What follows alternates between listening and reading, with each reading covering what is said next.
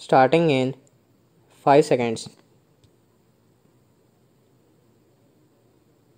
Mr.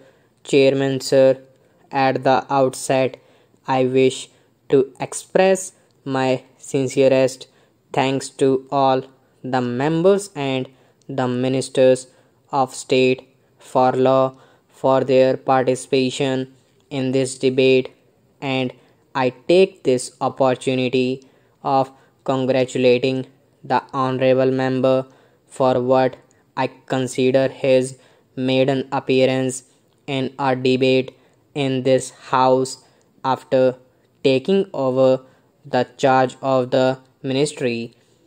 When I started this debate, you must have noticed that I spoke in a very low key. I spoke in a low key because I was apprehensive that as my amendments are to curtail the number of members of some states, passions may be roused, and if passion is roused, the purpose of the discussion would be lost. I am happy that members approached the debate dispassionately and calmly, and in fact, we had a very good discussion as I see it on all points. My honorable friend criticized the whip system, and I understand why he has criticized because it appears that the whip of his party did not permit him to speak in the presidential address debate. Therefore, what he could not speak in the presidential address debate, he tried to speak here, and though most of what he said had no relevance to the subject matter except referring to my bill once, his whole speech was on other subjects. Therefore, I think I need not reply to them. As this morning the Prime Minister has replied to all the points, and during the debate on the presidential address, there was enough discussion on these points.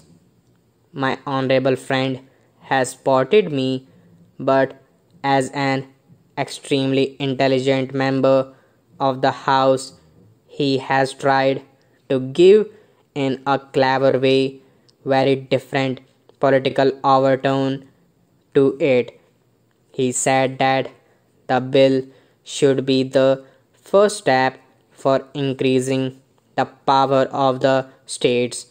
I beg to differ from him so far as this is concerned because I feel that in a country like ours with so many diversities and separatist forces, there must be a strong center, and one of the essences or basic features of the reason for which two chambers theory is encouraged as to keep a check on the separatist forces.